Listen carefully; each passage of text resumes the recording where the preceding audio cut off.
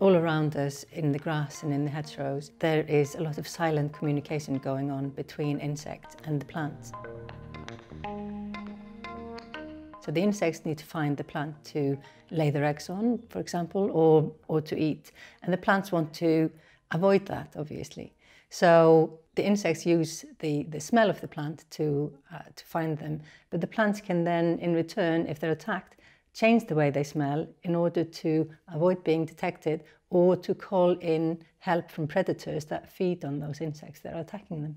It's fascinating how plants and insects communicate and on a fundamental level this is this is very interesting scientifically, but we can also use this knowledge to help us protect our crop plants from insect pests that feed on them and reduce the yield and quality of our, uh, of our crops and, and the food that comes from them.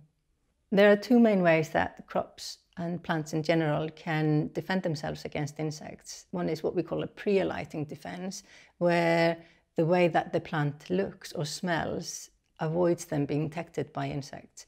And the other one is what we call post-alighting, so it's after the insect lands. And the plant then can defend itself either by the insect not being able to feed on it because the surface is too hard, or by using plant chemistry that's uh, toxic to the insect. At the moment, the way that we identify defense traits in plants is uh, manual labor. So we go out and we count aphids, we count beetles, and that's very, very time consuming.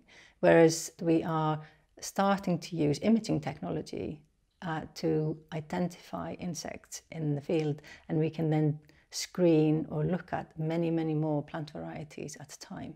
And once we've identified the plants that seem to have resistance to insects, then what we can do is we can go into more fundamental science and look at the plant chemistry and the plant genetics to understand what it is about that plant that is making it resistant. And once we have that information, then we can take those traits and breed them into the modern varieties, the crop varieties that our farmers use in their fields. And that will help safeguard the yield potential of that plant, make sure that that plant is not attacked by insects. So by delivering resistance in the seed for farmers, they will not need to, to spray pesticides or it's much less likely that they will. And it will be a much more sustainable way of protecting our crops. We need to be keeping a very close eye on how things change with climate change, for example, because in my field, crop protection, insect pests usually do better when it is warmer. So that is going to put more pressure on our crops.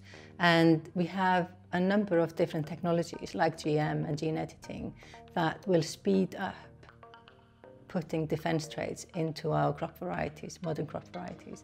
And we need to be using all of those tools to help us help the farmers and make sure that the farmers can grow enough crop for the, the world population.